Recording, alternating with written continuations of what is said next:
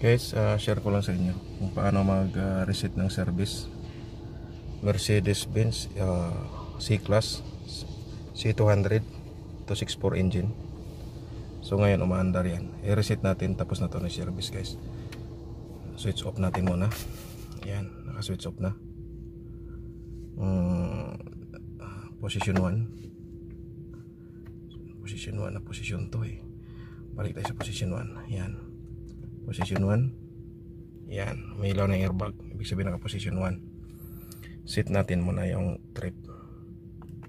Zero mo natin. Yan reset trip meter. Scroll down lang yan. Okay. Yan naka zero na. Next natin. Ito guys. Ganon din. Uh, naka ano. Yan natin? Long press lang tong dalawa. Yan trip. Lumabas na yung trip. Iangat mo yung nasa gitna. Ito ito ito. Yan inangat. Tapos press press again.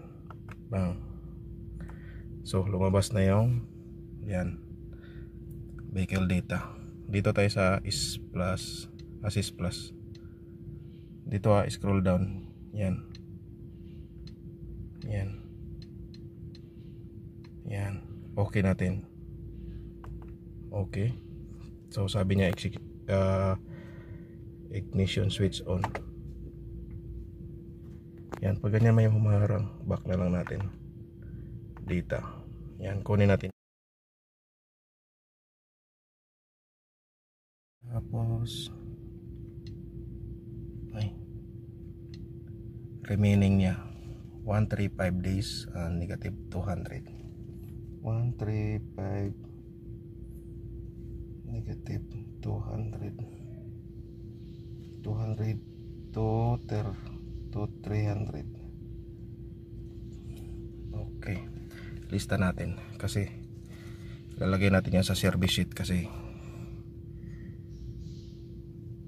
fill up sa service sheet? To sa back na tayo. Press back.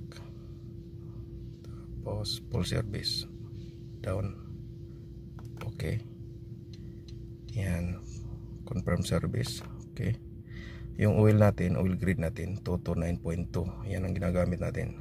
So okay. Yes. Confirm. Yan. Full service completed. So back na tayo. Back. Data. Kunin natin data. Kung kailan siya mag service uli. Yan yung code niya. 505 E scroll down natin. 365 days. Positive. 365 days. Positive. 15,000 kilometers. So 356 uh, 365 days. So equivalent to 1 year. 15,000 kilometers. Ganun lang guys tapos back na tayo. Back back. Tapos score trip. Trip tayo. Okay. Start. Hindi na yan na ano, hihingi ng ilaw na magpa-service yan. Okay na yan. Maraming salamat guys